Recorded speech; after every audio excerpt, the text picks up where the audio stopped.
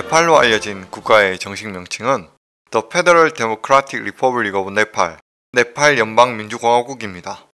네팔의 국기는 세계에서 유일하게 사각형이 아닙니다. 삼각형 두 개를 위아래로 포개놓은 형태로 테두리 선은 진한 파란 선이며 빨간 바탕에 하얀 초승달과 태양이 있습니다. 파랑은 세계를, 빨강은 행운을 뜻하며 광선이 뻗어나가는 달과 태양이 함께 잘 지내는 것을 영원합니다. 1847년 제정된 최초의 국기는 원래 사람의 얼굴 형상이 그려진 양의 깃발과 음의 깃발이 별도로 제정되었으나 1962년 새 헌법에 따라 현재의 형태로 제정되었습니다. 네팔의 위치는 북쪽으로는 중국 티베트와 히말라야 산맥을 사이에 두고 접해 있으며 그 외 지역은 인도와 접합니다. 2019년 기준으로 약 3천만 명의 인구로 대한민국 인구의 60% 정도입니다. 네팔의 국토 면적은 약 15만 제곱킬로미터로 이는 대한민국의 1.5배 정도의 크기라 할 수 있습니다. 네팔의 1년 GDP는 2017년 기준 250억 달러로 이는 세계 101위로 비슷한 수준의 국가로는 엘살바도르를 꼽을 수 있습니다.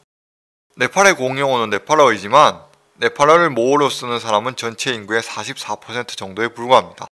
실생활에서는 영어를 주로 쓰는 편이며 그 외에도 무려 120여 개의 언어가 쓰인다고 합니다. 네팔인들의 80% 이상이 힌두교 신자로 분류되며 그 외 불교, 이슬람교, 기독교 등을 믿습니다. 하지만 네팔 종교의 특징인 종교 혼합주의에 따라 힌두교와 불교를 따로 분리하지 않고 함께 모시는 신자가 대부분입니다.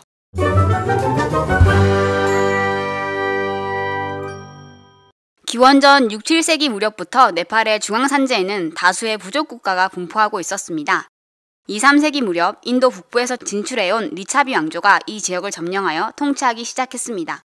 리차비 왕조는 인도, 중국과의 교역으로 크게 번성하였는데 이 시기에 불교는 쇠퇴하는 대신 힌두교가 융성하였습니다.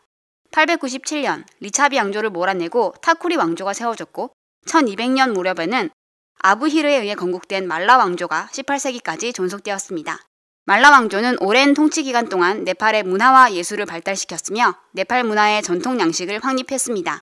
15세기 전성기를 맞이한 말라 왕조는 왕위 계승권을 둘러싼 권력 다툼으로 인해 세계의 왕국으로 분할되었고 각지의 부족들이 독립하여 다수의 토국이 세워졌습니다.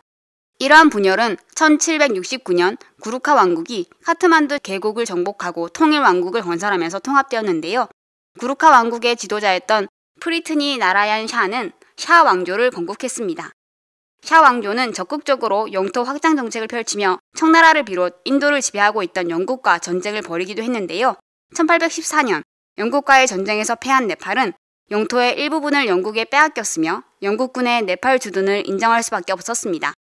1846년부터 왕권이 무력화되고 영국의 지원을 받은 라나 가문의 실질적인 독재가 시작되었습니다.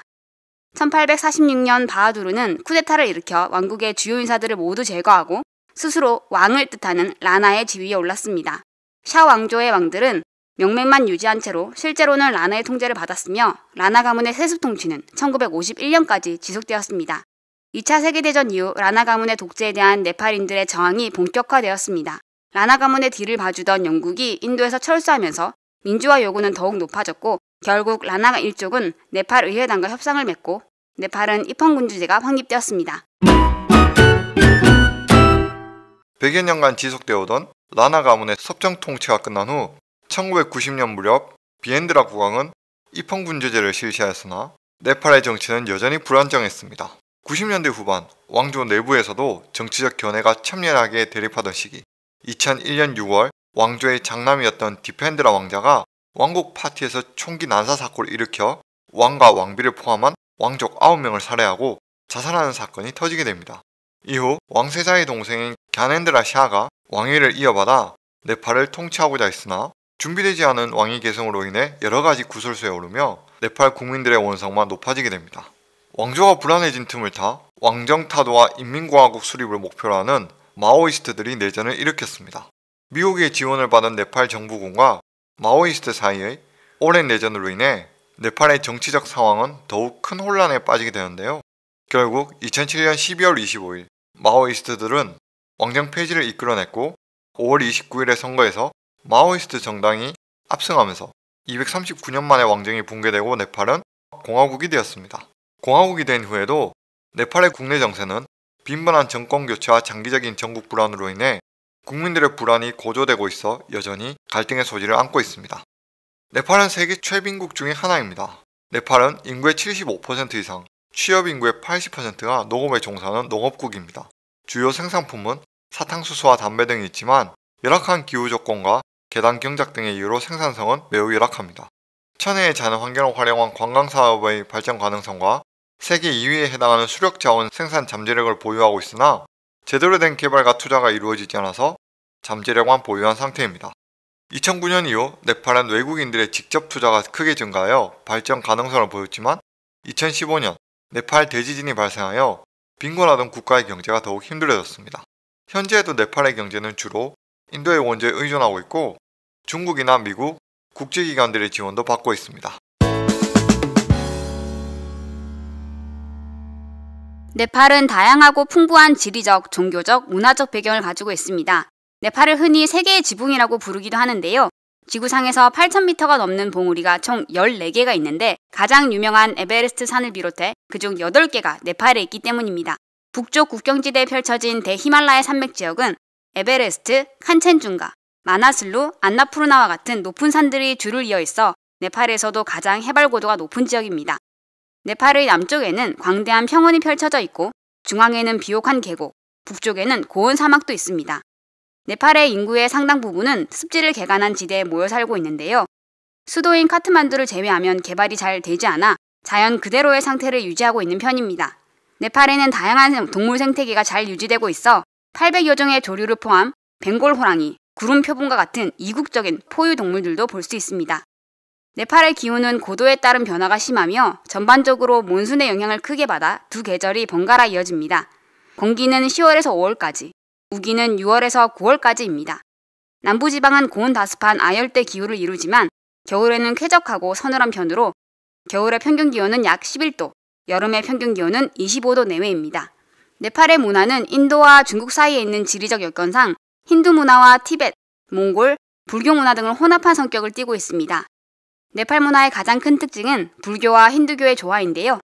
불교 사원 내에 힌두 사원이 있고 힌두 사원 내에도 불상이 있는 경우가 많습니다. 뿐만 아니라 종교 행사나 예식에도 힌두교인과 불교인이 함께하는 경우가 많다고 합니다.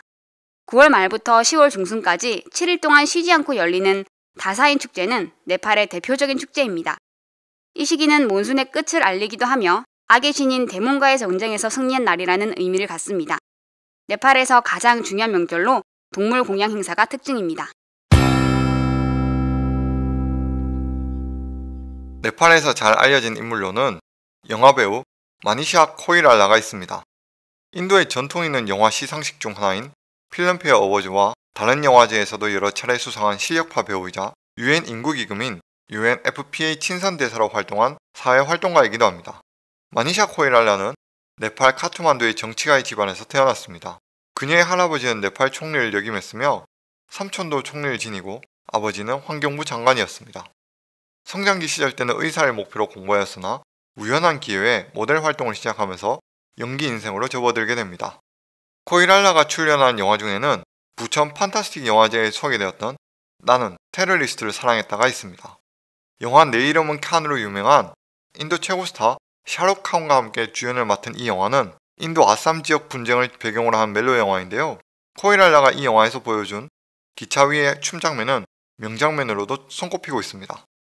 스크린 활동 이외에도 코이라라는 사회 사업에 적극적으로 참여하고 있으며 특히 여성의 권리 증진과 여성 폭력 방지 및 네팔 소녀들의 인신매매를 막기 위해 노력하고 있습니다. 그녀는 2015년 UNFPA 친선 대사로 임명되어 2015년 네팔 지진 이후 구호 활동에 참여하기도 했습니다.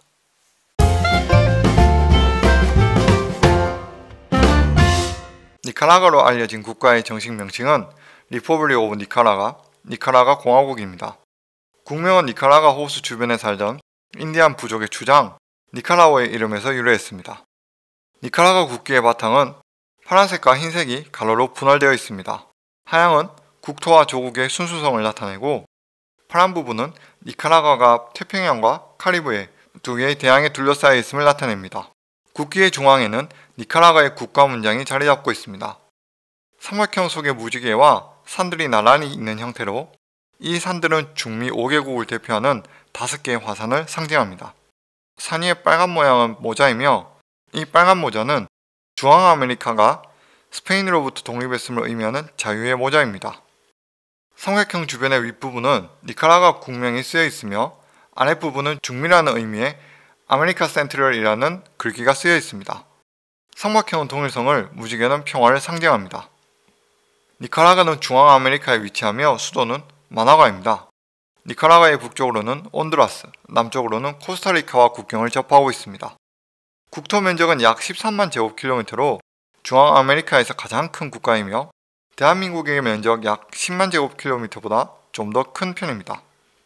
인구는 2019년 기준으로 약 600만 명의 인구가 살고 있으며 이는 부산과 대구를 합친 인구수와 비슷합니다. 니카라가의 1년 총 GDP는 2017년 기준 약 138억 달러, 이는 세계 118위로 비슷한 수준의 국가로는 가본과 모리셔스를 꼽을 수 있습니다.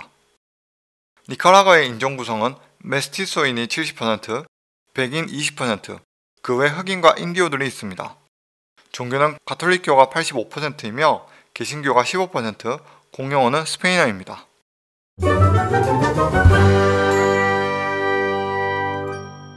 스페인의 식민 통치를 받기 이전 니카라과에는 니카라오족, 초로테가족, 미스키토족 등 아메리카 원주민 종족 집단이 살고 있었습니다.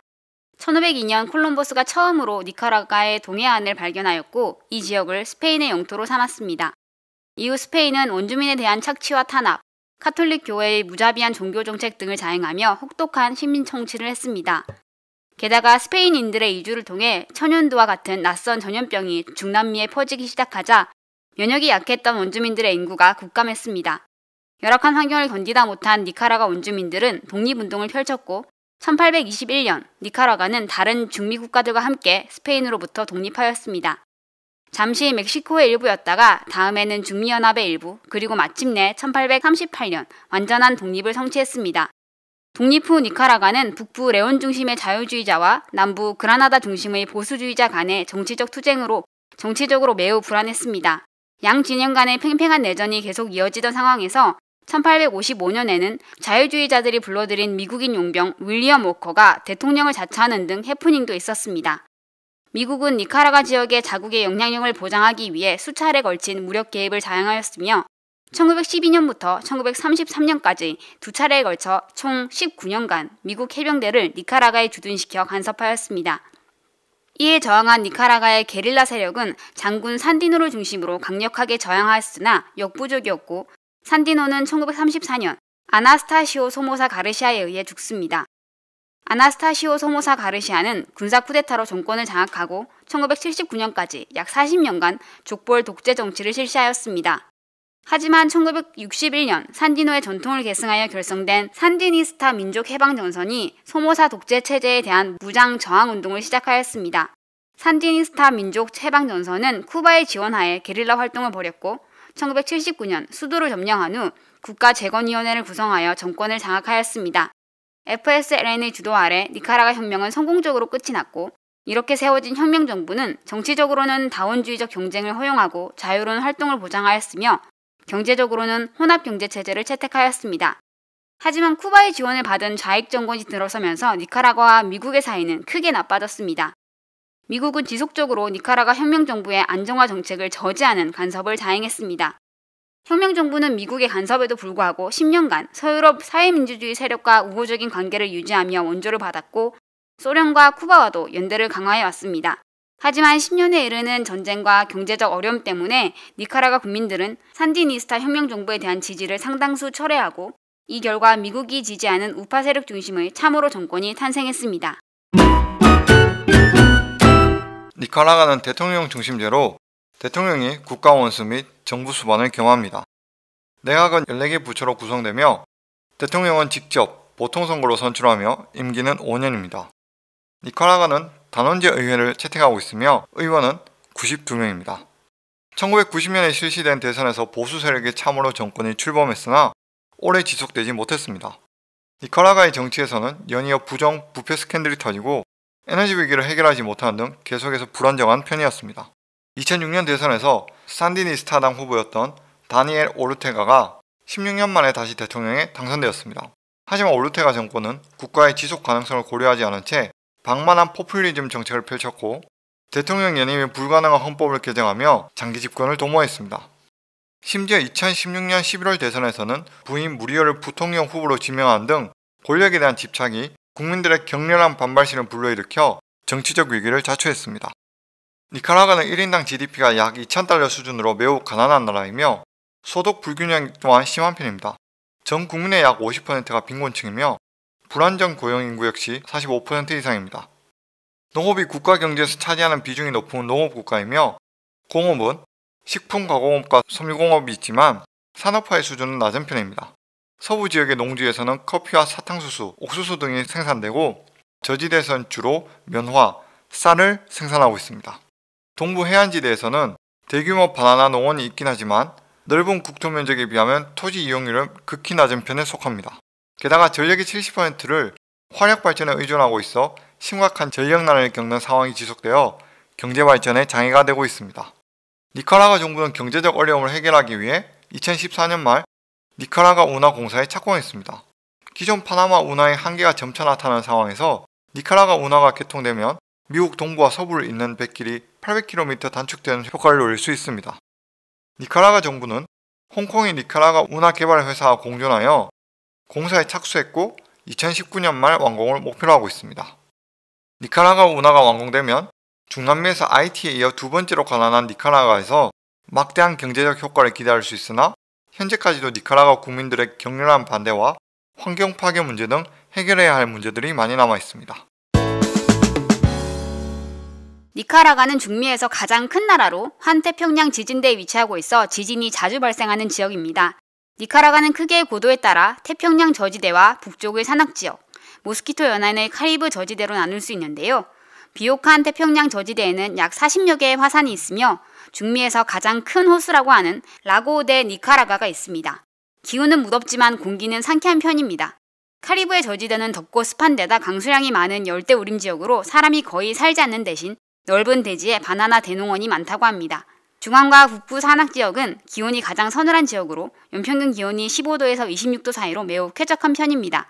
다양한 야생동물들이 서식하고 있고 목축과 광산지대가 있습니다. 니카라가는 다른 어떤 중미 국가들보다 많은 문학 작품을 배출한 국가입니다. 그 중에서도 특히 시가 가장 사랑받는 예술이라고 하는데요. 니카라가 출신의 시인인 루벤 다리오는 중남미 문학의 왕자, 모더니즘의 기수로 알려져 있습니다. 루벤 다리오는 중남미 최초의 혁신적 문학 운동인 모데르니스모를 주도하였으며 중남미 문학에서 독보적인 위치를 차지하고 있습니다. 니카라가는 2004년부터 매년 그라나다 국제 시 페스티벌을 개최해 세계 각국과의 문화 교류의 장을 마련하고 있습니다. 또한 니카라가 사람들은 야구를 매우 즐기며 국가 스포츠로 불릴 정도로 인기가 대단하다고 합니다. 인구 600만이 안 되는 나라에 야구팀만 약 4,500개가 넘고 야구 선수로 등록한 사람들만 7만 명에 가깝다고 할 정도니 그 인기를 실감할 수 있습니다. 1968년에 자국 리그를 창설하였고 1972년에는 세계 선수권 대회에서 우승을 하는 등 국제 대회에서도 좋은 성적을 거두었습니다. 그때부터 니카라가 출신의 야구 선수들이 미국 프로야구 메이저리그에서도 활발하게 진출하기 시작했는데 니카라가 출신의 가장 유명한 야구 선수로는 데니스 마르티네즈가 있습니다. 니카라가에서 유명한 인물로는 전직 모델과 여배우며 사회 인권 운동가인 비앙카 제거가 있습니다. 제거는 현재 유럽의회 친선대사로 활동하고 있으며 비앙카 제거 인권재단의 창립자이자 회장입니다. 비앙카는 1945년 니카라과 마나과에서 상인의 집안에서 태어났지만 그녀가 10살 때 부모님은 이혼하여 어머니 혼자서 3명의 아이들을 키우게 됩니다. 비앙카는 경제적으로 어려운 상황에도 장학금을 받으며 프랑스 정치학을 공부하였습니다. 또한 인도를 장기간 여행하며 간디의 비폭력 저항 운동과 동양 철학의 영향을 받게 됩니다. 1970년 25세 때 프랑스에서 열린 롤링스톤즈 콘서트 파티에서 70년대 아이콘이자 전설적인 락그룹 롤링스톤즈의 리더 믹 재거를 만나게 되고 다음에 믹 재거와의 결혼식을 올리게 됩니다. 결혼식 당시에 입은 화이트 웨딩 드레스는 프랑스의 유명 패션 디자이너인 입생 로랑이 디자인한 옷으로 블라우스 없이 재킷과 스커트로만 구성되어 당시 큰 화제를 불러일으키고 지금까지도 베스트 웨딩 드레스 중 하나로 손꼽히고 있습니다. 하지만 그녀는 그리 오래 가지 않아 믹 재거와 이혼하였고 당시 그녀의 고향인 니카라과에서는 1만 명 이상의 사상자를 낸 지진이 덮쳤습니다. 비앙카 제거는 국제 적십자 대표단과 함께 니카라과를 방문했고 자연재해뿐만 아니라 독재 정권의 야망과 억압에 큰 충격을 받게 됩니다. 이 사건을 계기로 비앙카는 사회인권 운동가가 되어 추후에는 비앙카 제거인권재단을 설립하게 됩니다. 현재까지도 비앙카 제거 재단에서는 여성들이 기본 인권을 박탈당한 국가들에 대해 고발하며 여성이 열등하다는 인식을 영속시키는 문화 및 사회적 규범에 대해 개선될 수 있도록 많은 캠페인 활동을 하고 있습니다.